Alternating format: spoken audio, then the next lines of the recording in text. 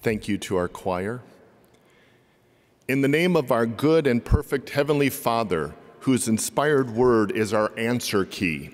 In the name of Jesus, our rabbi teacher, who lived out every lesson and objective in thought, word, and deed. And in the name of the Holy Spirit, our guide and tutor, who prepares and equips us to face every test. Amen. As we approach midterms for the traditional spring semester, have any of you yet had that dream?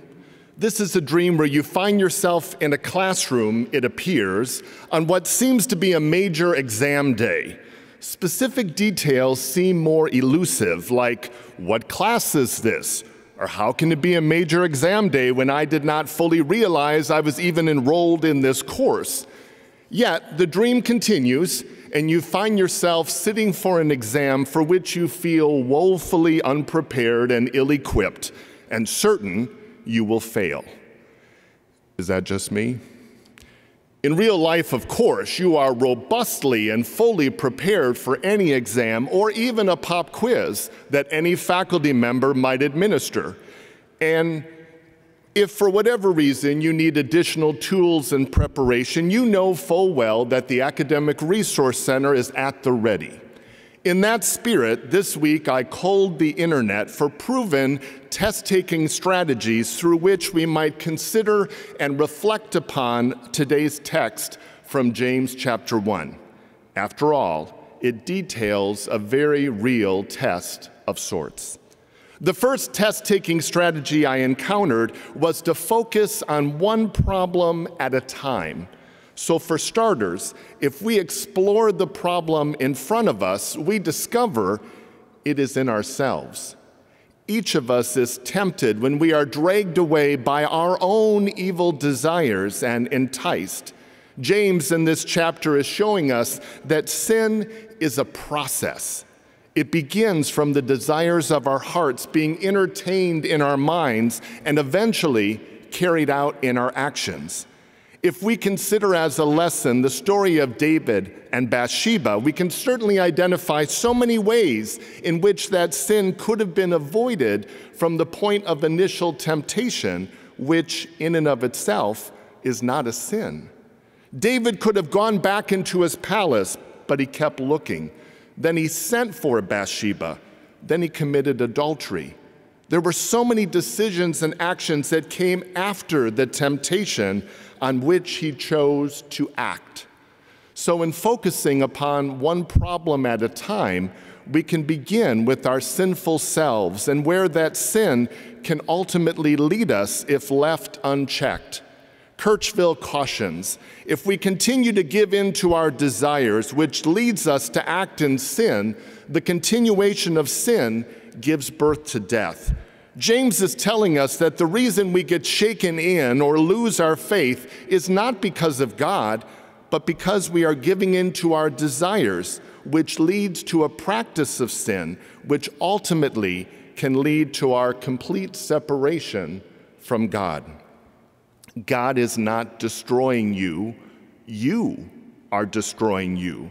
Separation from God all begins with us excusing our sinning and caving into our desires. Your desire needs to be changed or fulfilled in godly ways. Romans 13 reminds us let us walk with decency as in the daytime, not in carousing and drunkenness, not in sexual impurity or promiscuity, not in quarreling and jealousy, but put on the Lord Jesus Christ and make no provision for the flesh to gratify its desires.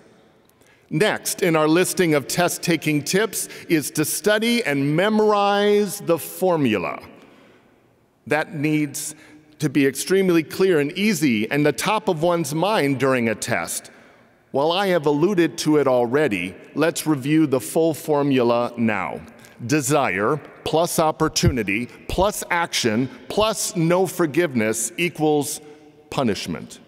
Left unchecked, with no new variables inserted, sin and Satan will overcome us if we receive this eternal punishment. Yet temptation and sin can be overcome by stopping its development at any of the four stages along the way And thanks and praise be to God that He is most willing and able to help us overcome sin at any place in the formula. Copeland summarizes God helps us to control our desires to succumb to temptation by providing His Word to renew our minds. God helps us to limit opportunities through His providence if we pray for such. God helps us exercise self control over our actions through His Spirit, strengthening our innermost being. And God helps us to obtain forgiveness through the blood of His Son as we repent and pray. Not only is the formula clear and the solution set provided, but through the grace and goodness of Jesus, our teacher, we can seek his direct help at any time. As I explored test taking tips and strategies on the internet, I came across the selection of listening to music on multiple lists. There is a song, God is Good All the Time, which I will not sing a cappella for you now, lest the dream reference with which I started my message quickly turn into a nightmare. But if that song or one like it about God's endless goodness is now an earworm in your mind, we are in a good place to unpack this tip.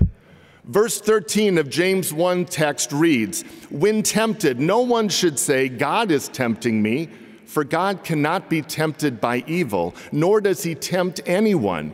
Here we can and should distinguish to test from to tempt. In Genesis 22, the Old Testament lesson for this week, we learn how God tested Abraham. In Second Chronicles, we read how God tested Hezekiah by leaving him alone for a while to see what he would do we see that same distinction throughout the book of Job. And while we have already established that Satan tempts us in order to lead us to eternal punishment and separation from God, God's testing is of a diametrically different design.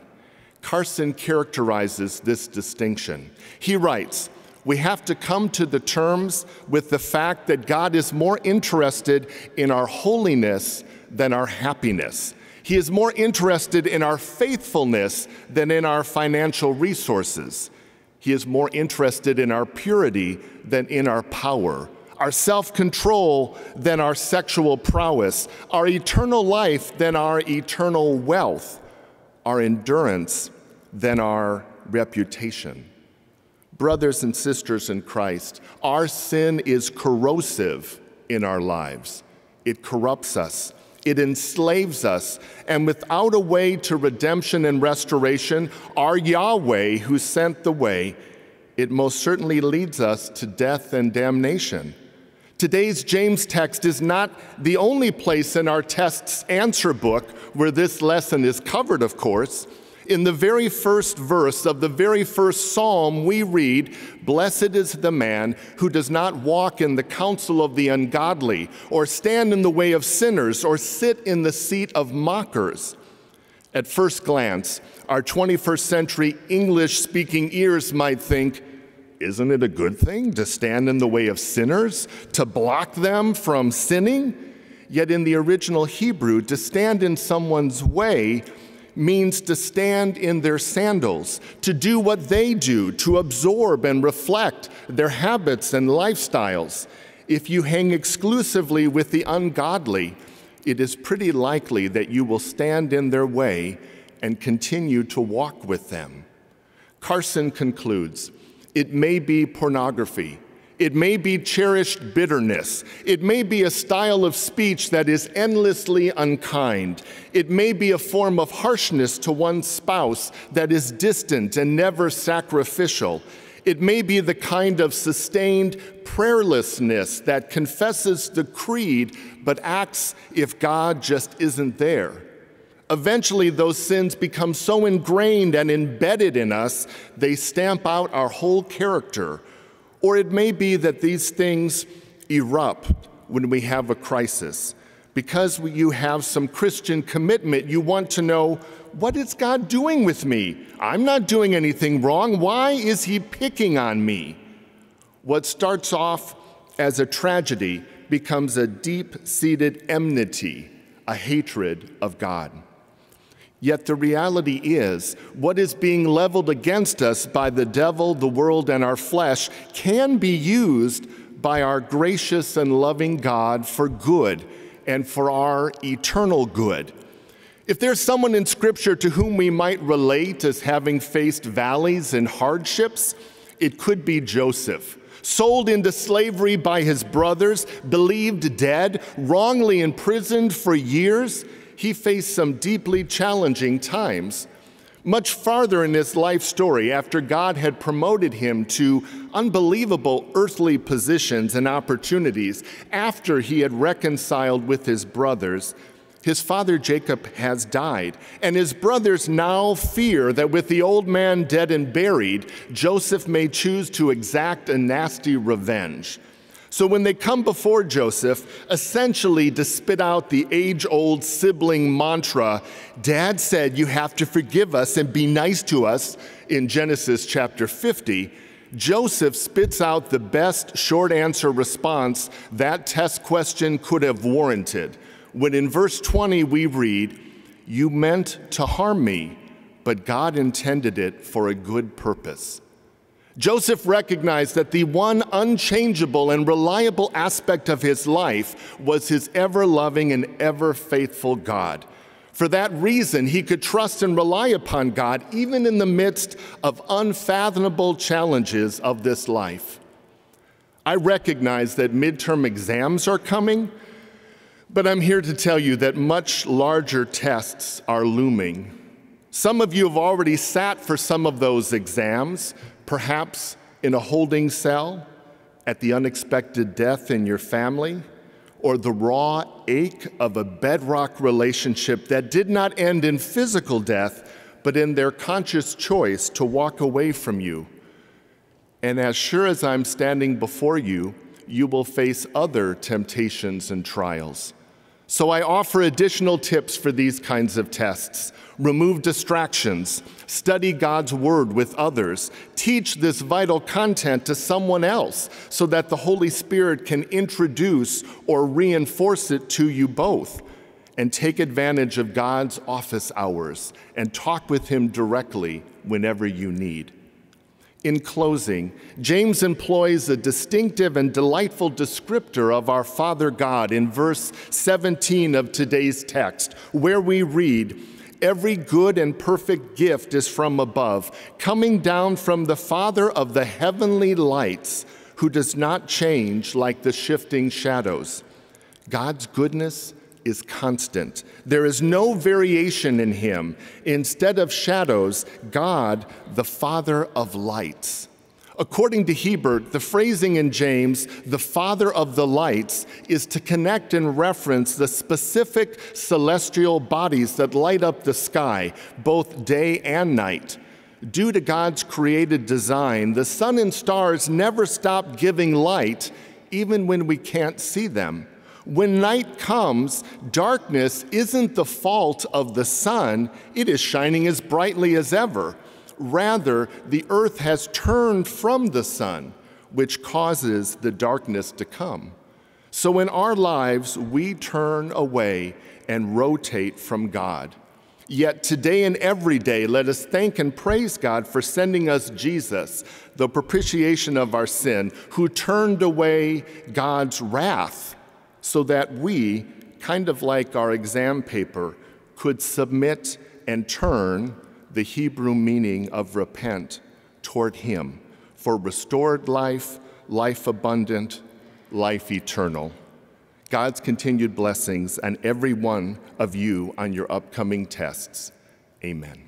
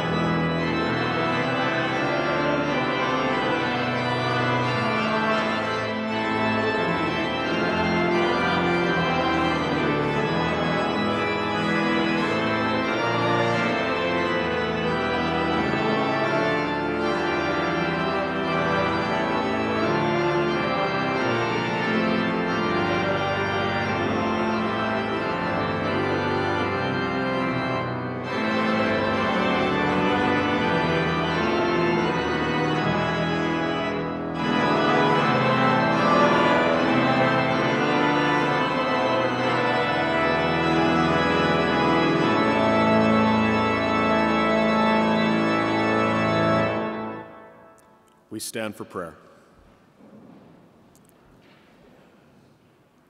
Dear Heavenly Father, we thank you for the gift of another day to serve and worship you. Please bless us and be with us in the many tasks of the day, and give us strength and energy and health for all things we are called to do. Today we include special petitions for Cynthia Rutan, a supporter of Concordia, who is diagnosed with cancer and is undergoing treatment. Also for a neighbor of student Alex Ford, who suffered a serious injury and was hospitalized. Heavenly Father, for these your servants and all who look upon you for healing, we pray for wisdom and skill for the doctors and all who attend to them, for healing according to your gracious will, and for strength and for comfort in your love and presence in their times of need.